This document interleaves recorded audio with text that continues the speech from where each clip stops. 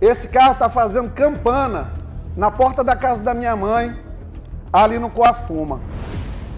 Já tem uma semana.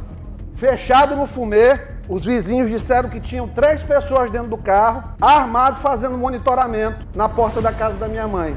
Esse cidadão bem aí, PM Salomão Fortes da Costa Júnior, do BOP do Piauí, escalado para montar campana na casa da minha mãe, que é um dos endereços que eu disponho.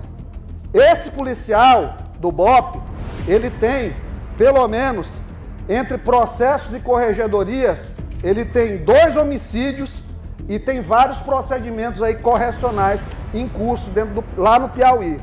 Então é isso aqui que a gente está enfrentando quando sobe a tribuna. Ninguém vem aí para cá para fazer brincadeira em tribuna. O trabalho que a gente está fazendo é enfrentando crime organizado e trazendo coisas ruins. Isso aqui é um, é um especialista do BOP. Nós estamos enfrentando o jogo do tigre, máfia chinesa e a perseguição do comunismo no estado do Maranhão.